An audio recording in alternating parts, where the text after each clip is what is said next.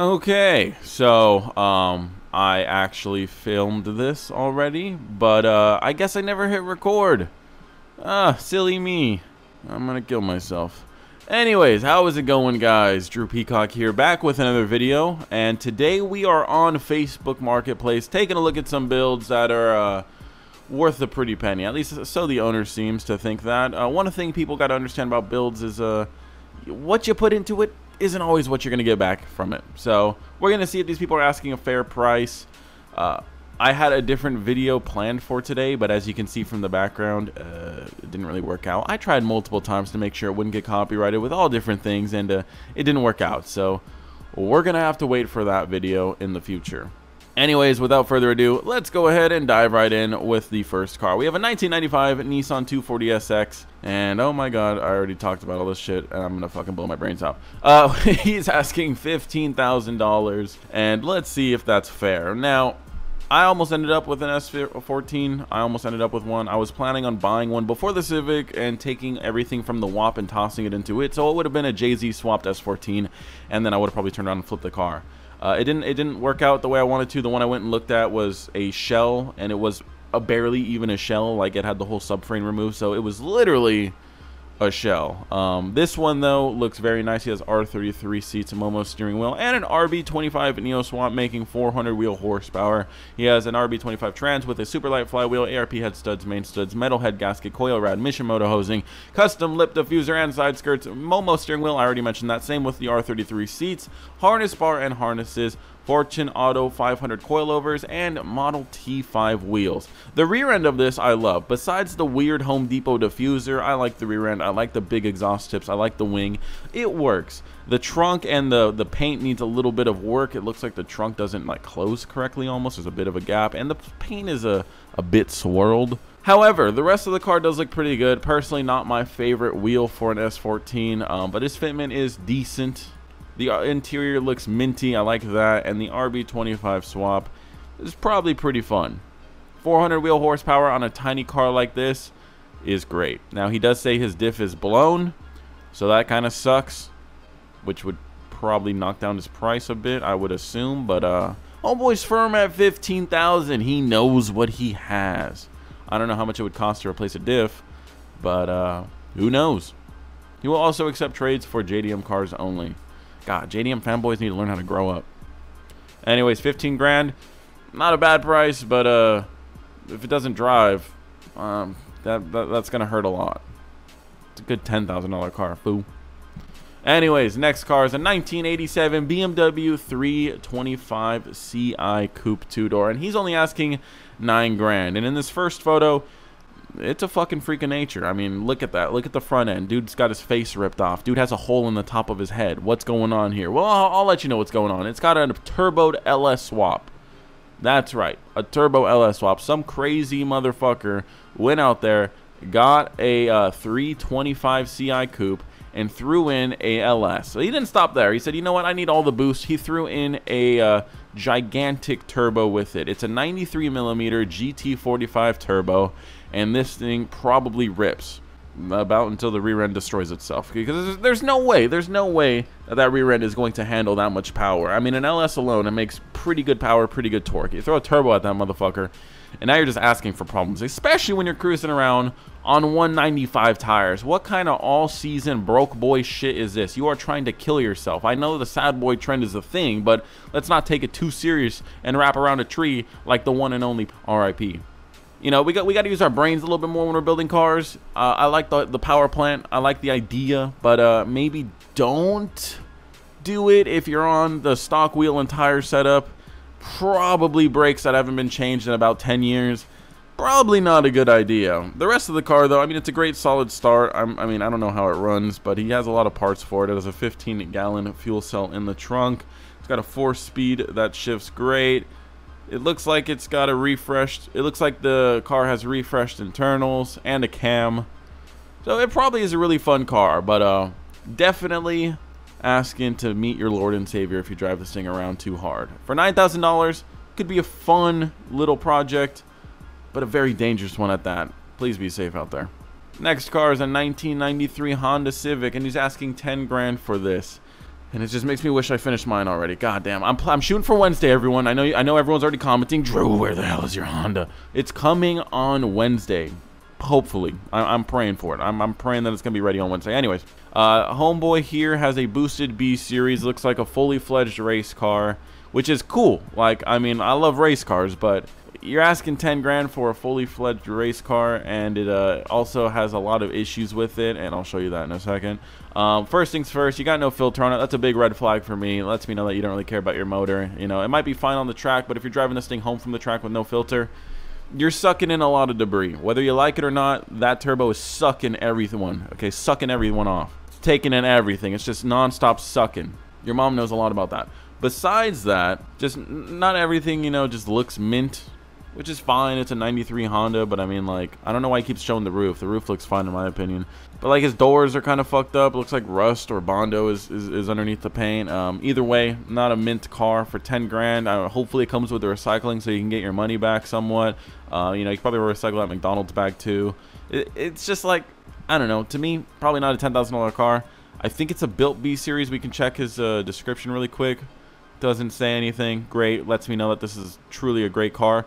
If it's a built B series, I'm guessing maybe four or 500 horsepower. If it's not, I don't really know what to expect. I don't know the limits, of the limitations of the B series. Um, but personally, if you ain't built it, don't built it. Capiche? It's a cool car. I wish I went B series because it would be done already. But you know, you live and you learn. I just don't think anyone's going to learn to pay $10,000 for this thing. But who knows? Next car, 2004 Audi A4 1.8 turbo Quattro sedan, four-door. He's asking $15,000. And at first glance, you're like, all right, man, my mom owned one of these bad boys. It was all right car, but it was no $15,000 car. And you're right. This guy, though, however, took his measly little 1.8. I mean, you get more soda in a 2-liter from Pizza Hut and he turned it into a 2.1 so he actually has more motor now than soda which is a good look you know. Good good job out there. I need to do that with my Honda. I don't want to have the same amount of uh, liters in that as I do in the toilet bowl. But uh, he also went through a uh, single turbo on this bad boy and it rips. This thing makes a 400 wheel horsepower. That, that's pretty fun. That's a pretty fun number for a car like this I don't think you need too much more than that. He also has on an air ride suspension. Couple things I like. I like how he cut his front bumper to perfectly fit his intercooler piping. Things I don't like. I don't like your hood clips. On a stock hood, I don't think it's necessary, but that's just me. It's a great looking car. Not a huge fan of the wheels in some of the photos. It looks like the wheels in the first photos are way better in my opinion. These look like shit, but uh, some people like eating shit. I don't. The rear end looks just absolutely mint. I love it. Kind of looks like a G8 or a GTO. I love the quad tip exhaust. I love the D-badge look. A little bit of tin on the taillights. It looks tasteful. Love it. The fitment is good too, even though these are the dog shit wheels. Uh, the fitment is good. It is, it, is, it is good. He did he did that right. Good job. The interior, I don't know if this is good old Audi rattle canning everything or if this is you, but someone's guilty of it and they need to be punished. I don't like this. I don't like this red stripe. I don't like the red. If it was like wood grain, I feel like that would look cooler, but uh, the bright red, not a fan of that. Like I said, might be Audi, might be the homeboy himself. I don't fucking know. It is a six-speed manual, very cool. Got some nice aftermarket gauges. Overall, a very cool car. Uh, 400 wheel horsepower for a $15,000 built motor. I mean, that's that's pretty cool. And and it comes with uh, both of it. You know, it's both sides of the car scene. You get the looks and you get the performance. Personally, cool little sleeper in my opinion. But uh, I, I wouldn't pay 15 grand for that. I, I just, no, it's not worth it to me. Not worth it to me. All right, next car, a 1988 Ford Mustang Coupe two-door for $25,000. One of the more expensive cars of the episode. Good old Fox body came with the 351 Windsor. This guy said, fuck that Windsor, and took it out and put in an LS3. And we're talking a 600 horsepower LS3. And NA, no turb skis needed on this bad boy. This is a full street car. Oh, I was about to say race car, but it's not. It's not a full race car. He's advertising it as a street car. It has an 8.8 rear end with a 373 gears, Mickey Thompson ET Street SS tires, beautiful engine bay. Like this, this is very clean. I would not mind doing this myself, you know. And I love this episode or the series because I get a look at ideas and like, you know, what works and what doesn't work. And it looks like an LS fits real nice and snug underneath the hood of the Fox body. I know Coyotes kind of do, but this looks way more pleasant to work on in my opinion. I like it. I like it. But Drew, it's an LS in a Ford. That's a sin. He's going to hell. He might be, but he's gonna have fun in the meantime. It's not about the destination, it's about the journey. And this guy's cruising down the road in an LS Swap Fox body, okay? Are you? You might be. Well, there, there's someone watching this video that has an LS Swap Fox body. I already know it. Comment down below if that's you, and you'll get a cookie. Anyways, um, I like the car. I like how it just looks like, you know, a little stock race car. It's kind of cool. Uh, I like it. Very cool. Good job. Double thumbs up. Upgrade your brakes. You look like you're about to die. Last car. All right, let's let's wrap up this episode finally for the second time. 2000 Honda S2000, and homeboy must have been smoking a crack bowl because he's asking $46,000 for this thing. $46,000. You can go buy like maybe if you find one a Mark V Supra for around that price. This dude's tripping for an S2K. What swap do we think this guy did? Okay, spoiler alert, he did do a swap. But what swap do we think he did? Don't read the description. Anyways, all right, photos. We're, we're looking at some some money right here. We got some slicks, we got some welds, we got some skinnies up front. Okay, it's a, it's a serious race car. We see some digital gauges, you know, disconnect steering wheel, cool, whatever. Carbon hood, you know, we're, we're looking at the money stack up, but we're not seeing 46 grand. I ain't seeing it, especially with the Sparco wheel. I ain't seeing it. Why do you got four buttons? Why don't you just wire these into work? Come on, man. Get your shit together. Sparco seats, money stacking, but no 46 grand. We got some weird cooling shit in the rear. Maybe is, is radiators rear mounted. I don't know. Uh, aftermarket suspension looks like a different rear end. Not sure. Uh, nitrous, nice. Yellow top battery, the most expensive thing I think we've seen this whole uh, build. But uh, yeah, nothing too crazy yet. Okay, underneath the wrap looks white, clean, like it. Black and white looks very classic, very timeless, can go good on every car. You know what goes good in every car? A damn JZ. A damn built JZ also has no fucking air filter. What's wrong with these people? They're fucking animals. This guy has a JZ swapped S2000 and I still don't think it's worth 46 grand. I'm going to say that. It is a built JZ, which is cool. He has port and polish heads and built heads. You know, he's got built bottom end. Cool. I like all that. He's got a nice solid fuel system for the most part. But 46 grand? You know, I just, uh, I don't, I don't see it. Like, yes, that is a solid setup. A JZ alone, depending on where you're at, can range from like seven to ten grand, depending on what you're getting. I'd say. Um, that, that last time I checked, it's been a minute since I checked.